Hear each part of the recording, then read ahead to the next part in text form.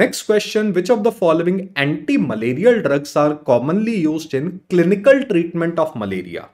So beta, in clinical treatment of malaria, we have discussed malaria in our country is mainly caused by either P. falciparum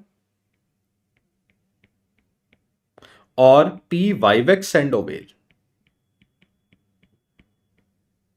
Now, if you talk about clinical cure or clinical treatment, that means you have to produce symptomatic improvement. In cases of P. falciparum, we give ACT, artemisinin based combination therapy, while in P. vivax and ovale, we give chloroquine. So why we are not giving chloroquine in P. falciparum? Because P. falciparum is resistant to chloroquine. Now ACT is artemisinin based combination therapy and in all states of India except the northeastern state, we give artesunate with sulfadoxine pyrimethamine combination. Sulfadoxine pyrimethamine combination. Now, what about what about radical cure and gametocidal drug? Now, what are all these word means? I will tell you. So, radical cure means we have to kill the stage of uh, this plasmodia in liver. So, for radical cure, we give primaquine.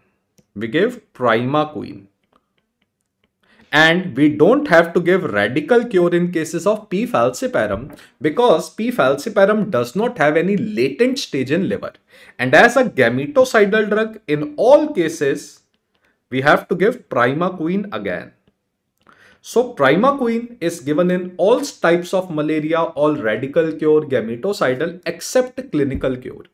So can we say artemisinin is given for clinical cure? sulfadoxine pyrimethamine and chloroquine.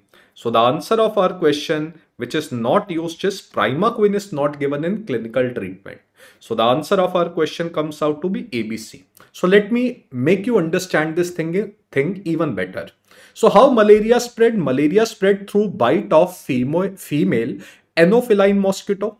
And when this mosquito comes, the infective stage to human is sporozoid Remember, we don't have any drug to kill sporozoid, although we have vaccines which can make antibody against sporozoid. Now, this malaria comes into the liver and from liver, this stage is known as hepatic schizogony. It goes into the liver. This is known as hepatic schizogony. From liver, it comes into RBC. We call it as erythrocytic schizogony. And remember now when malaria parasite or plasmodia ruptures RBC, then clinical symptoms come. Now, some of this malaria, they can go back into the mosquito. But remember in mosquito, only gametes which are present in the blood, they can infect, they can infect mosquito. Now, this is the cycle of P. falciparum. This is the cycle of P. falciparum. But in cases of P. vivax and ovale, in cases of P. vivax and ovale only, some of this hepatic schizont, they become dormant. They go into sleep. When they go into sleep, this is known as hypnozoite.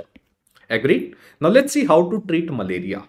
Now we don't have any drug to kill sporozoid, but yes, we have vaccine which can make antibody against sporozoid so that humans are not infected with malaria.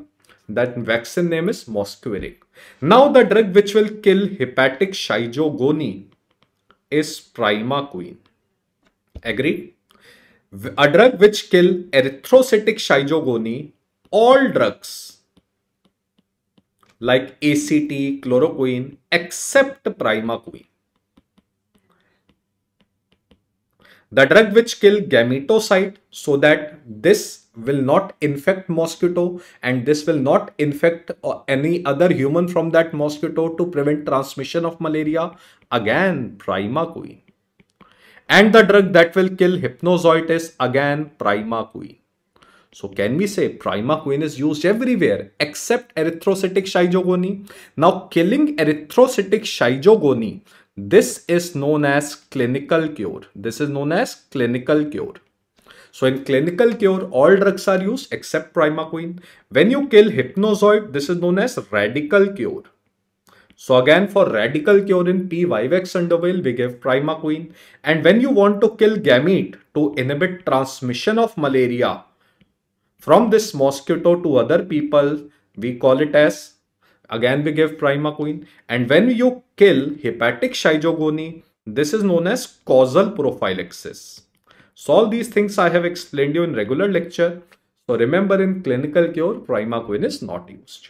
So next question is a patient